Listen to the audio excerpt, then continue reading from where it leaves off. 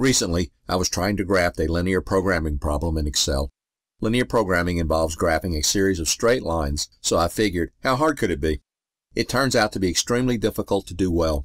However, in experimenting with it, I figured out an amazing Excel hack that makes it simple. The hack even handled one of the situations that an Excel line graph itself could not handle.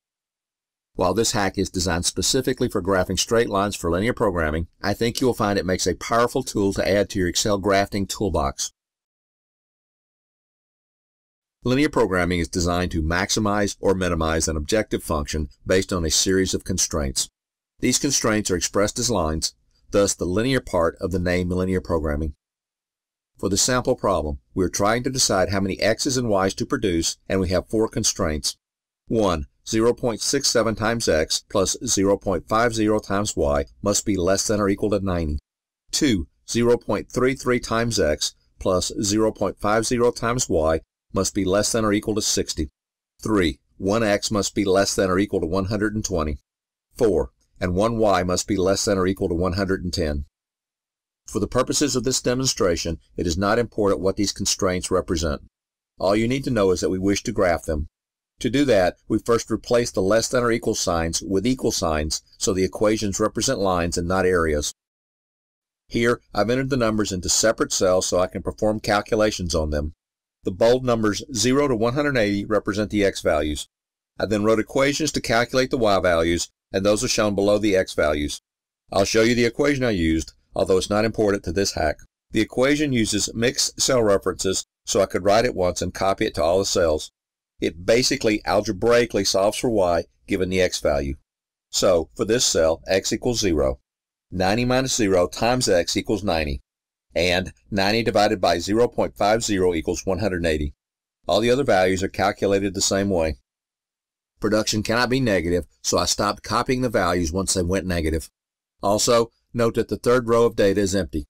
That has no y value because it is just a vertical line at 120. Once I had the data, I constructed the line chart you see on the screen. It is correct, as far as it goes, but it has two major limitations. One, as already mentioned, it cannot show the vertical line at 120. Two, it does not scale well. When I change the 90 to 120, the graph adjusts the best it can, but the yellow line no longer goes all the way out to the x-axis as it should. The only way to correct this is to edit the data used in the graph. We can do better. We can correct both of these issues and create a graph that can handle any situation and scale automatically.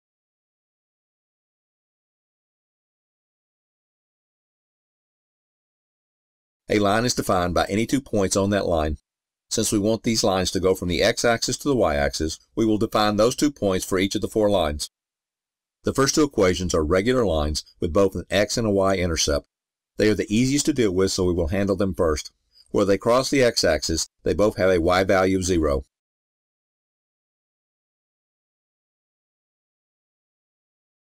When y is 0 for the first equation, x equals 90 divided by 60, or d4 divided by a4.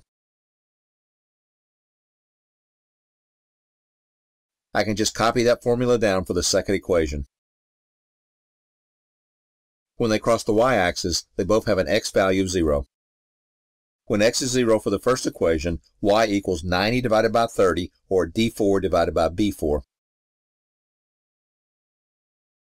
I can just copy that formula down for the second equation. Now to deal with the two lines that only have an x or a y value. We will deal with 90 times x equals 120 first. When there's no y value, the resulting line is a vertical line. In this case, it is a vertical line at 120 divided by 90 equals 1.3333. This translates into D6 divided by A6. We want the line to start at the x-axis and y equals 0 there, so we will just enter a 0 for the y value. We want the line to go straight up, but stay at the same x value. So, we will enter the same equation for x for the second point. Now, how high should the line go? Technically, it goes to positive infinity, but that would affect the scaling of the chart. What we need is for it to go just as high as the other equations. We can find that value using a maximum function.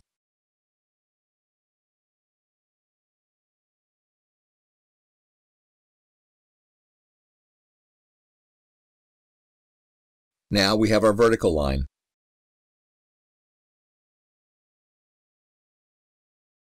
It's now time to handle the last line. That is a horizontal line. When x equals 0, y equals 110 divided by 60.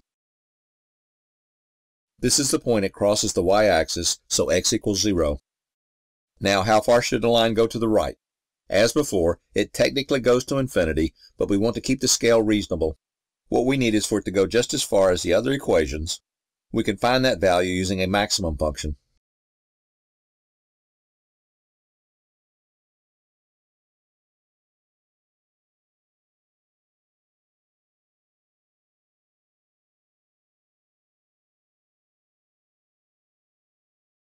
We now have two points defined for each line. How we actually turn these into lines will surprise you. We're going to graph them, but without using a line graph. This is the hack that is so extremely useful. We need to insert the graph without Excel trying to pick the data for us. So I'll move to a blank part of the worksheet without data. Rather than inserting a line chart, we are going to insert a scatter chart. These are also known as XY charts. And make sure to pick the one that shows lines.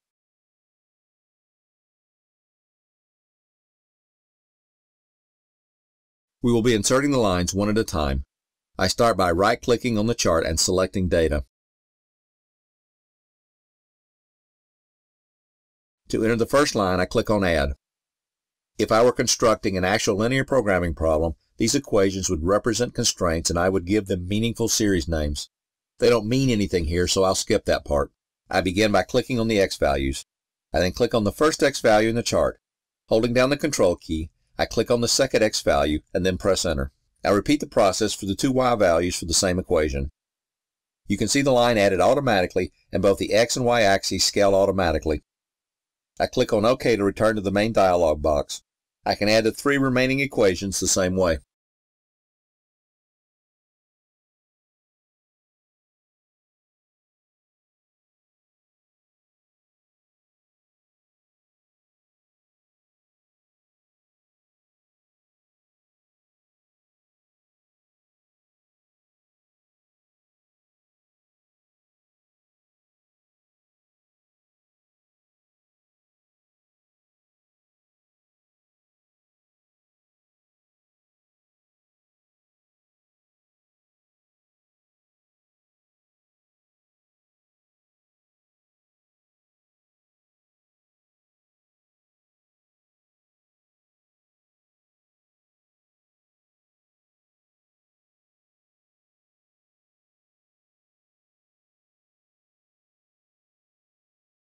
I can now click on OK to complete the graph. Now if I change the 90 to 120, everything scales automatically. All the lines still go from the y-axis to the x-axis. No matter what I change, it works perfectly. This hack only works when all the lines stay in a single quadrant of the graph. Since almost all line graphs stay in the top right quadrant, this hack works with all of those graphs. Additionally, I started and ended all the lines at the x and y axes. However, I only did that because this is how linear programming problems are defined. You can actually define the start and ending points in any way that makes sense for the lines you're working with, and this hack will work just fine. Enjoy!